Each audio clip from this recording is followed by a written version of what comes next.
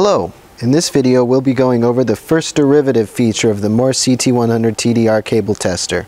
The CT100 TDR can perform many on-screen mathematical transforms of TDR waveforms, and the first derivative transform is a useful one. One use of the first derivative is to emulate the waveform of a pulse-type TDR at a much higher resolution than any such commercially available instrument, which may make certain faults easier to evaluate.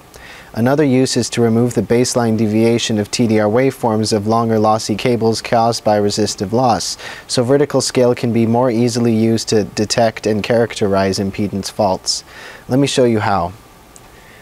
The first derivative TDR trace is quite simple to use. First, select the TDR trace to be used and apply the first derivative. In this case, I'm scanning the live TDR trace and it's already selected. Next, open either the main menu or the scan menu and select Math. Then simply select first derivative to apply it to the selected waveform. And there's our first derivative trace. The new trace is the first derivative of the base trace. As you can see, we can zoom in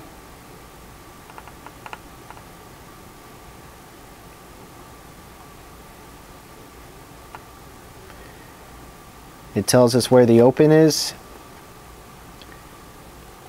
and right here is a connector that it also detects.